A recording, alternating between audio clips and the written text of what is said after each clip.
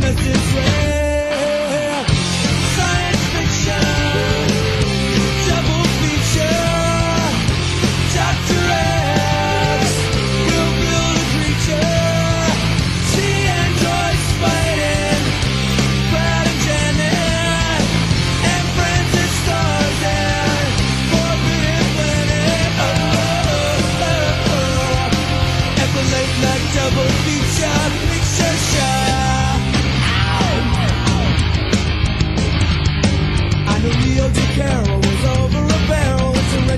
to the